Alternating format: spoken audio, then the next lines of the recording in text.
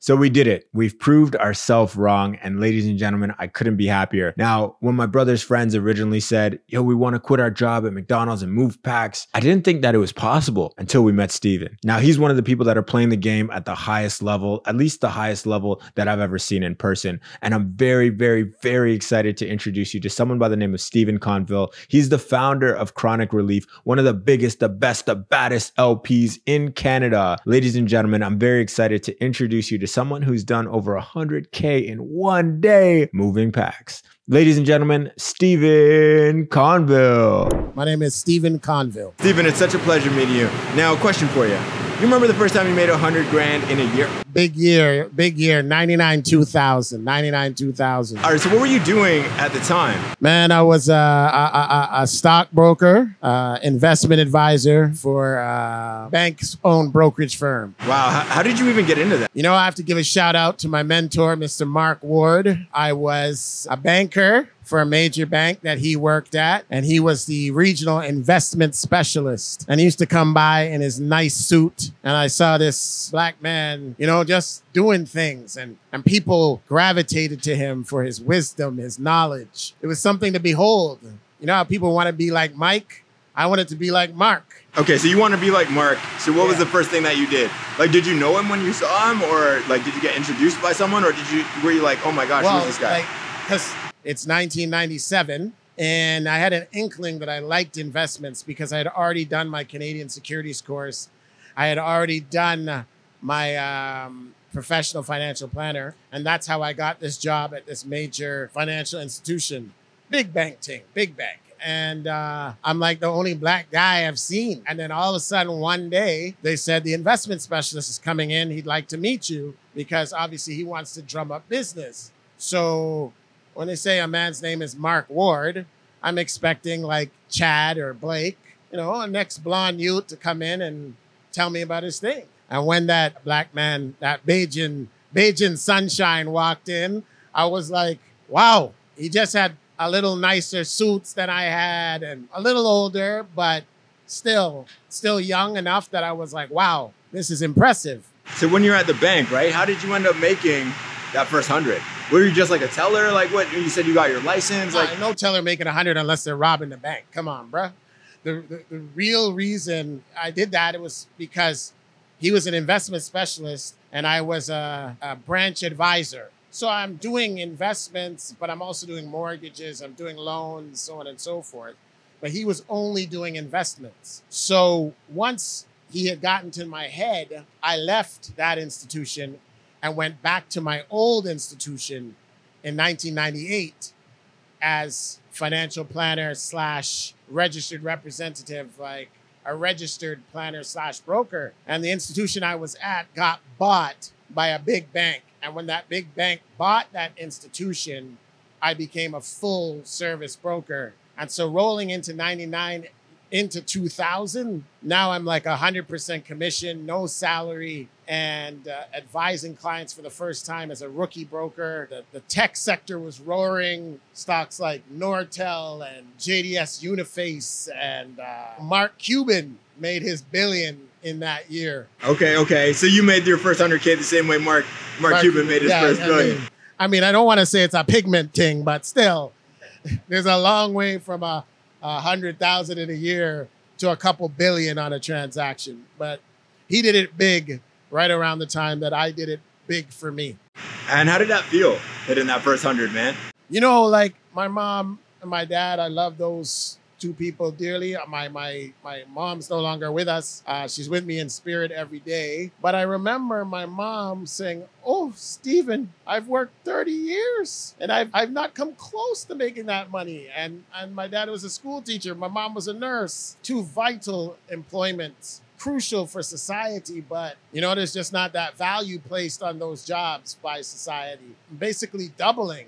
Wow, that must have been a huge shock. I mean, yeah, I mean, I'm a young buck. I'm not even 30, and I'm, you know, I'm just doing it big. What did what did you spend it on? I cannot tell a lie. I had just bought a new house. I'm like 24 because a hundred, I must have made like a 130 that year, or 145.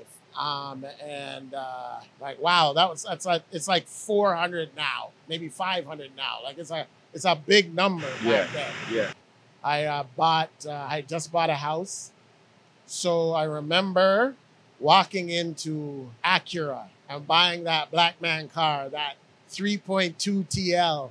And I got the little spoiler on the back. And I hadn't really matured yet. But I didn't, I guess by these standards, I'm about to tell you, I didn't really mature until I was 40 something, because that's when I took the speaker box out of my car.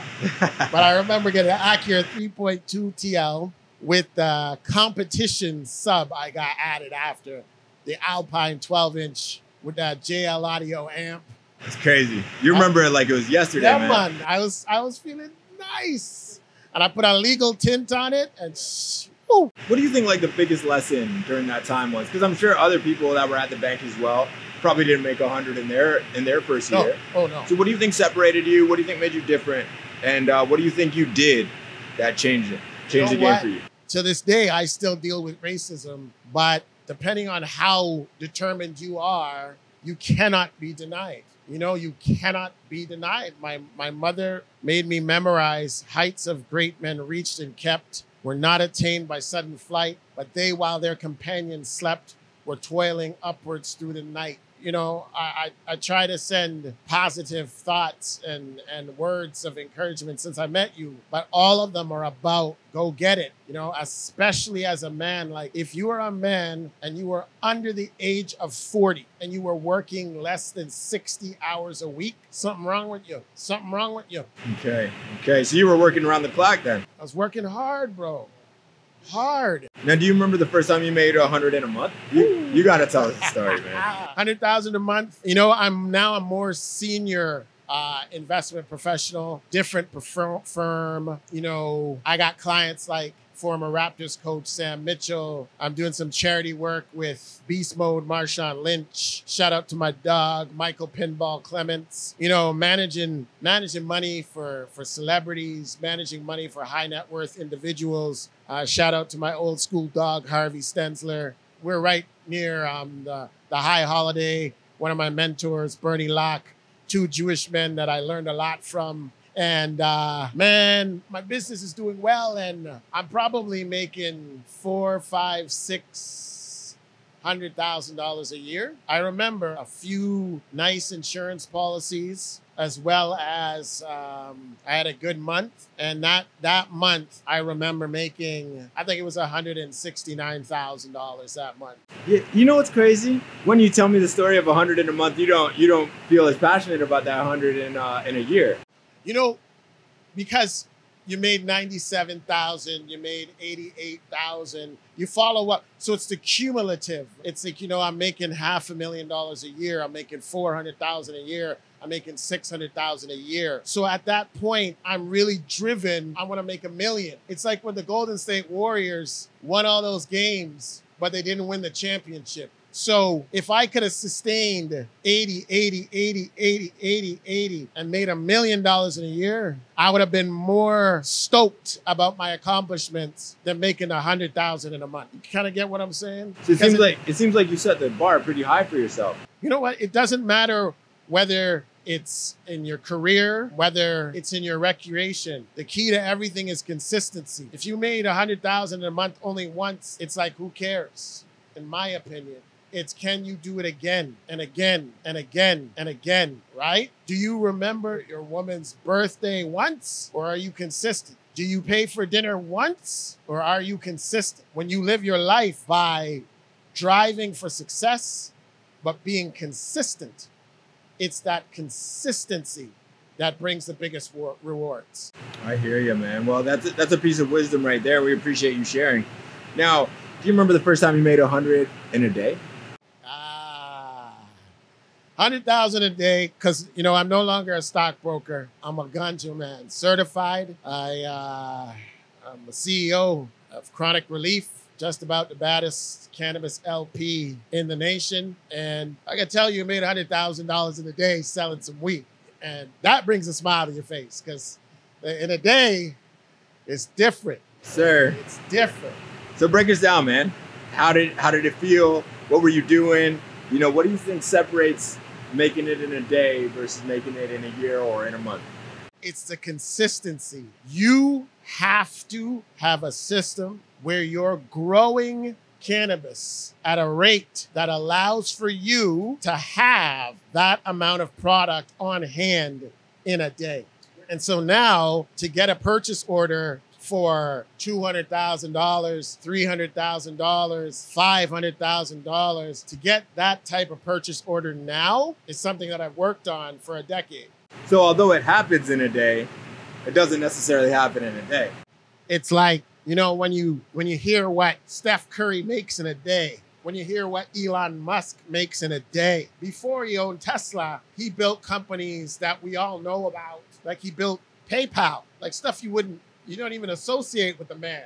Everyone's like, yo, Tesla. He didn't just arrive and hey, let me build a car. He was a serial entrepreneur. So when you look at his daily income, look at his resume, look at how many shots Steph Curry has taken in his driveway with his dad Dell yelling at him, but he's making those shots over and over and over again. So when you look at his paycheck today, you're like, wow, look what he makes in a day. But that's years of preparation. No matter what you do, if you're making a hundred thousand in any day, you've put the work in. Out of all the hundreds that you've made, which was your favorite and why?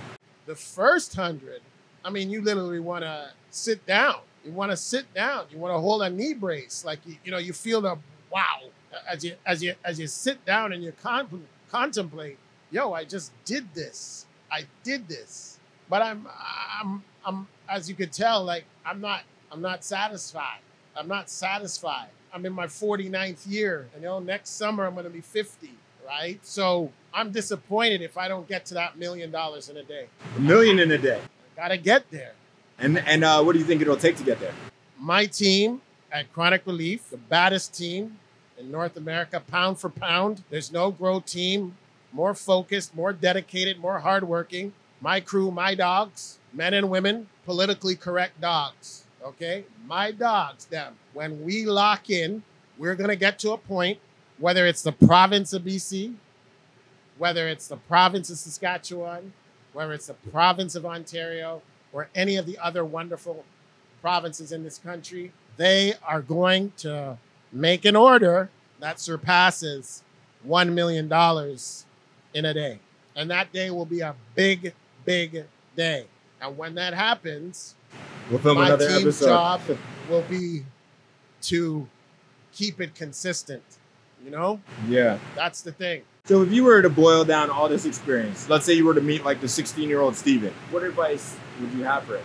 Learn that Wordsworth poem that my mother ingrained in my head. Heights of great men reached and kept were not attained by sudden flight, but they, while their companions slept, were toiling upwards in the night. I cannot think of a domino game I missed. I cannot think of a party that I did not attend. And I grew up in the generation where we partied. We put partying on the map in this country. We were the sweat generation. We partied more nights than you guys could ever think, all of you young people. But when it was time to put the work in, the work got done. If you look into my eyes, you will see a drive that burns because I am about success. I am not about being average. I'm not doing average things. And once you are locked in like that, nothing can hold you back. Nothing can hold you back. Maybe society's racism has prevented me from making a million dollars in a day by 40, but it won't stop me from doing it. And what's wrong with that? If you didn't make the NBA at 23, but you made it at 24, what is wrong with that? If you become a neurosurgeon at 31 instead of 29, what is wrong with that? If you didn't get your big break in acting until 35, what is wrong with that? Nothing. The only thing that's unacceptable in my world is not trying your best and not working your ass off. And shout out to all the women who work hard. But if you're a man and you are not wired to work, something wrong with you. Get up and work. I'm gonna care because You can start out as fry, fry guy at McDonald's and you can get into their ownership apprenticeship program and you can make a million dollars a day as a McDonald's franchise owner, one of the most coveted jobs on this planet. There is nothing that can hold you back.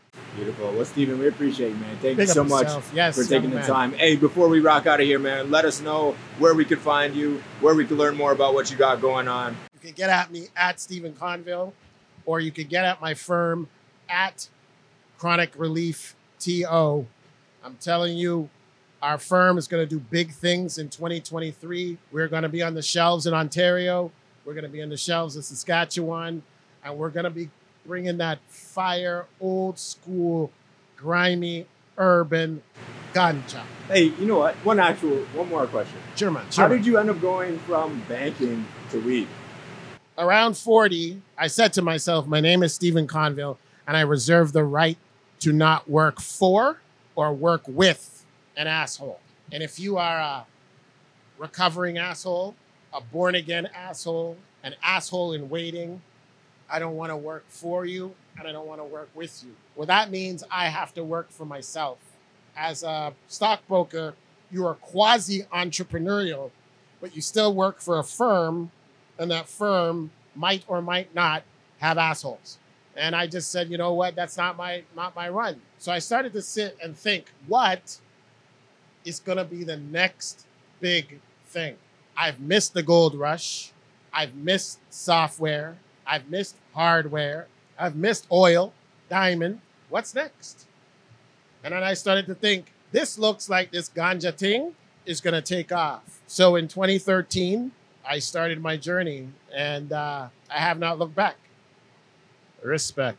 We appreciate you. Thanks so much, Steven. Thanks a lot. And you see, the cool thing that I learned from Steven is that although it's 100K in a day, it's not really 100K in a day. And I think there's a lot of wisdom that we could pull from this episode. And I really, really, really enjoy the quote that his mom once told him.